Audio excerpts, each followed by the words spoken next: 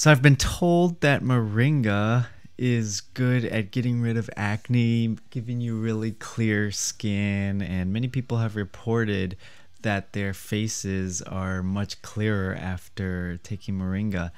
And I've certainly noticed over the past year that I've been taking moringa pretty consistently that my face has cleared up.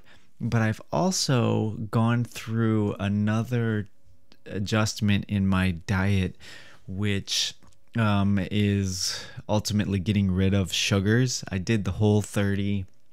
If you haven't heard of it, it's a super awesome um, plan for uh, going through a 30 day almost cleanse process of resetting your body and then slowly reintroducing different um, different food groups, different foods that are known to potentially cause issues to different people.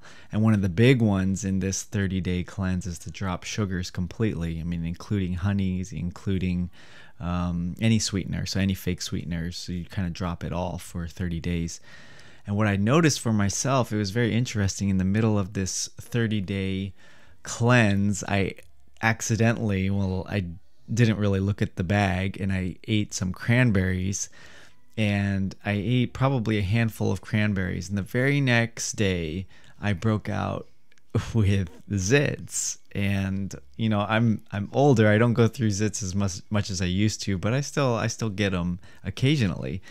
My question for you is do you feel that sugar is the cause of much of the acne we get I ask that because I have a theory for myself, for my own body, that I feel like my body reacts very, very poorly to sugar in such a way that as soon as I take any, as soon as I get any little bit of sugar in my body, I'm going to have some sort of skin reaction. And I don't know if this is across the board that many people deal with this same, uh, deal with sugar in the same way. But for uh, myself, I've noticed this to be the case. I'm curious if there are others out there that have noticed the same thing for them with regards to sugar. If you wouldn't mind leaving a comment below and let me know your thoughts, I would love to hear from you. Thanks.